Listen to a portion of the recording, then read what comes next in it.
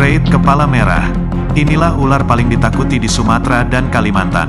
Memiliki ciri bertubuh panjang dengan warna merah pada kepala dan ujung ekornya.